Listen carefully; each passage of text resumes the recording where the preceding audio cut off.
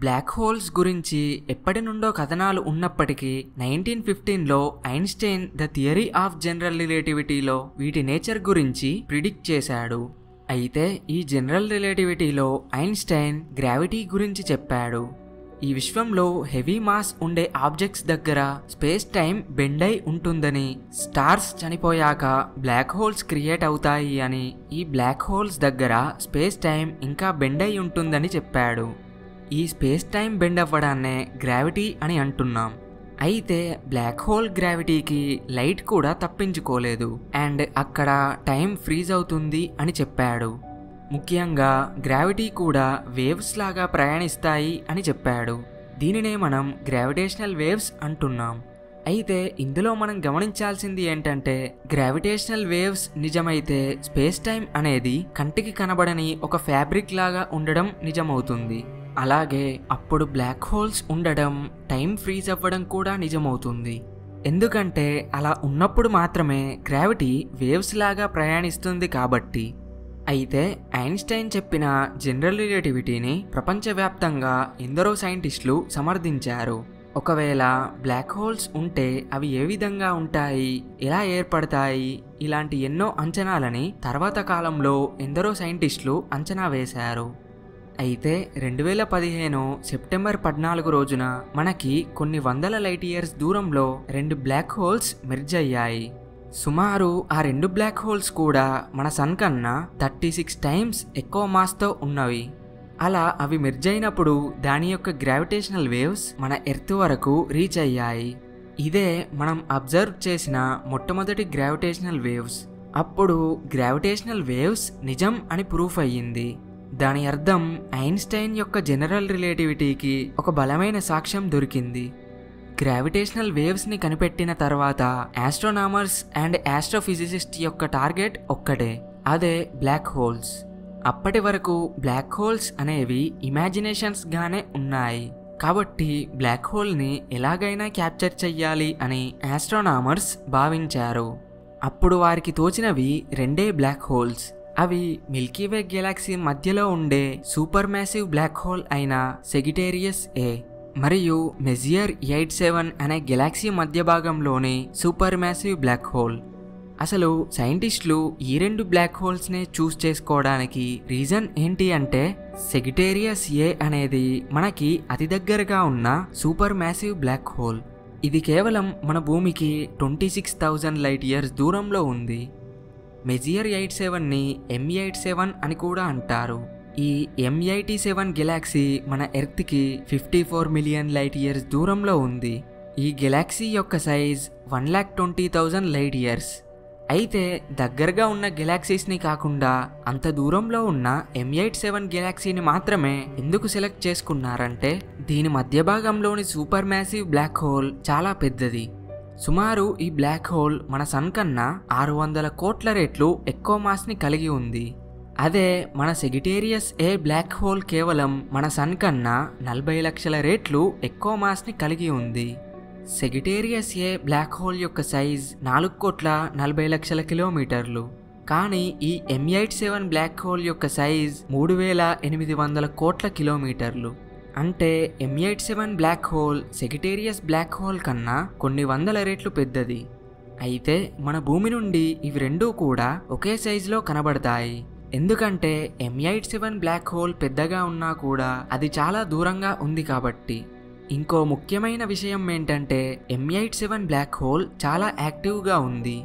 ఇప్పుడు ఈ రెండింటినీ క్యాప్చర్ చేయడానికి లార్జ్ టెలిస్కోప్స్ కావాలి. అన్ని లైట్ ఇయర్స్ దూరంలో ఉన్న బ్లాక్ హోల్స్ని క్యాప్చర్ చేయాలంటే ఆ టెలిస్కోప్ మన ఎర్త్ సైజులో ఉండాలి. అంత పెద్ద టెలిస్కోప్ని మనం తయారు చేయలేం. అలా అని ఒక్క టెలిస్కోప్తో కూడా బ్లాక్ హోల్ని క్యాప్చర్ చేయలేం. అందుకోసం భూమిపైన ఆరు ప్రాంతాలైనటువంటి Hawaiian Arizona Spain Mexico Chile and south poles దగ్గర టెలిస్కోప్స్ని అమర్చారు. దీనినే ఈవెంట్ హారిజాన్ టెలిస్కోప్ అంటారు. చీలీ మరియు హవాయిన్లో రెండు రెండు టెలిస్కోప్స్ని అమర్చారు. ఈ ఎయిట్ టెలిస్కోప్స్కి అటామిక్ క్లాక్స్ని అమర్చి అవన్నీ ఒకే సర్వర్ ద్వారా పనిచేసేలా చేశారు. ఇలాంటి టెక్నాలజీని very long base line interferometry అంటారు. అయితే ఈవెంట్ హారిజాన్ టెలిస్కోప్ కెపాసిటీ ఎంత ఉంటుందంటే మన భూమి సైజ్ ఉండే టెలిస్కోప్కి ఎంత కెపాసిటీ ఉంటుందో అంతే కెపాసిటీ ఉంటుంది. అయితే ఒక స్టార్ని ఫోటో తీయడం చాలా ఈజీ. ఎందుకంటే స్టార్ ప్రకాశవంతంగా వెలుగుతుంది కాబట్టి. కానీ బ్లాక్ హోల్ని ఫోటో తీయడం చాలా కష్టం. ఎందుకంటే బ్లాక్ హోల్ యొక్క గ్రావిటీకి కాంతి కూడా తప్పించుకోలేదు కాబట్టి. అసలు ఒక ప్రాంతంలో బ్లాక్ హోల్ ఉందని కూడా చెప్పలేం. అయితే ఈ బ్లాక్ హోల్స్ని కనిపెట్టడానికి రెండు మార్గాలు ఉన్నాయి. మొదటిది ఏవైనా స్టార్స్ వేగంగా ఒక సర్కిల్ లాగా తిరిగితే ఆ సర్కిల్ మధ్య భాగంలో ఒక బ్లాక్ హోల్ ఉన్నట్టు అర్థం. రెండవది బ్లాక్ హోల్లోకి ఏదైనా మ్యాటర్ వెళ్ళినప్పుడు ఆ బ్లాక్ హోల్ చుట్టూ ఒక డిస్క్ లాంటి ఆకారం ఫామ్ అవుతుంది. దీనినే అక్రీషన్ డిస్క్ అంటారు.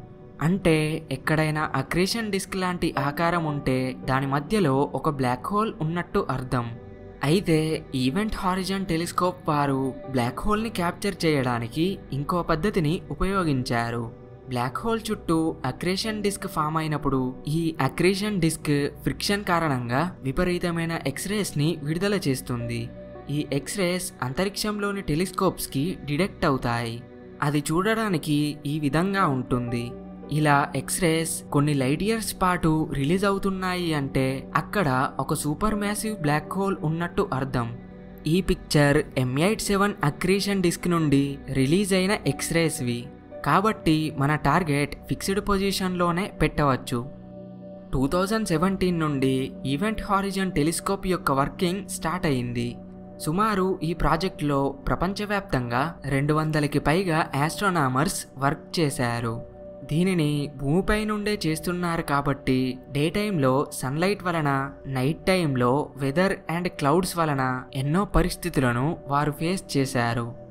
మొత్తానికి two thousand seventeen April five six ten and eleven డేట్స్కి సక్సెస్ఫుల్గా M eight seven black hole నుండి రేడియో వేవ్స్ని ఈవెంట్ హారిజన్ టెలిస్కోప్ ద్వారా అబ్జర్వ్ చేశారు. సుమారు ఆ మొత్తం డేటా యాభై లక్షల జీబీ అయ్యింది.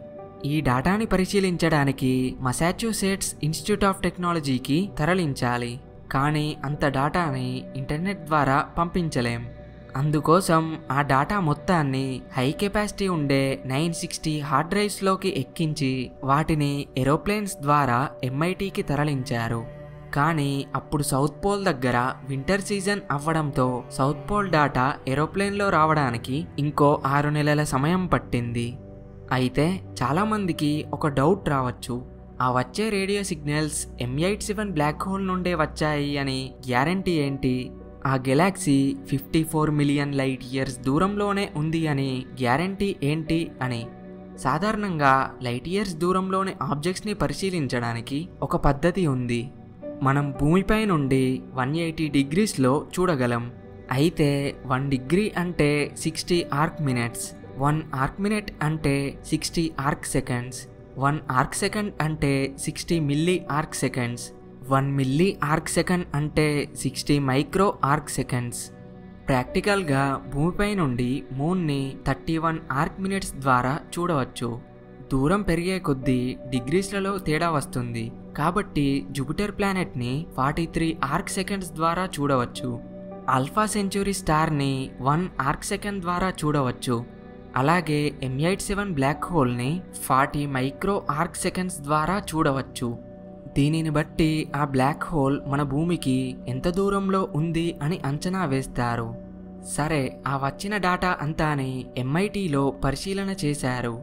ఆస్ట్రోనామర్స్ అండ్ డిజైనర్స్ అందరూ కలిసికట్టుగా పనిచేయకుండా కొన్ని కొన్ని టీమ్స్గా ఏర్పడి ఆ డాటాని ఇమేజ్ రూపంలో సిద్ధం చేశారు. ఏ టీంకి ఇంకో టీంకి సంబంధం లేకుండా అందరూ ఒకే డాటాపై పనిచేశారు. అలా రెండు సంవత్సరాల పాటు పనిచేసి ఆ బ్లాక్ హోల్ అవుట్పుట్ ఇమేజ్ని సిద్ధం చేశారు. అన్ని టీమ్స్ ఎన్నిసార్లు ఇమేజ్ని సిద్ధం చేసినా వచ్చిన ఇమేజ్ మాత్రం ఒక్కటే. కావడంతో two thousand nineteen April ten రోజున ఈ ఇమేజ్ని ఫస్ట్ బ్లాక్ హోల్ ఇమేజ్గా పబ్లిష్ చేశారు. అసలు ఈ బ్లాక్ హోల్ ఇమేజ్లో మనం గమనించాల్సింది ఏంటంటే రౌండ్గా ఉన్న డార్క్ సర్కిల్ మాత్రమే బ్లాక్ హోల్ వెలుగుతున్న సర్కిల్ అంతా బ్లాక్ హోల్ చుట్టూ తిరిగే మ్యాటర్ ఈ బ్లాక్ హోల్ చూడడానికి చిన్నగా కనిపించినా కూడా ఈ ఎన్ నుండి ఈ ఎన్కి డిస్టెన్స్ మూడు వేల ఎనిమిది వందల కోట్ల కిలోమీటర్లు. అంటే ఈ గ్యాప్లో మన సోలార్ సిస్టమ్ లాంటి మూడు సోలార్ సిస్టమ్స్ని పట్టించవచ్చు. అంటే ఈ బ్లాక్ హోల్ ఎంత పెద్దగా ఉంటుందో అర్థం చేసుకోవచ్చు. ఐన్స్టీన్ ప్రిడిక్ట్ చేసిన విధంగానే బ్లాక్ హోల్ యొక్క షేప్ అండ్ సైజ్ ఉంది. మొత్తానికి ఈ ఇమేజ్ ద్వారా బ్లాక్ హోల్ యొక్క మిస్టరీ వీడినట్టే. సైంటిస్టులు ఇంకా ఇలాంటి ఎన్నో ఆవిష్కరణలు చెయ్యాలని కోరుకుందాం. ఓకే ఫ్రెండ్స్ ఈ వీడియో మీకు నచ్చినట్టయితే మీ ఫ్రెండ్స్తో షేర్ చేయండి. Thanks for watching. Jai Hind.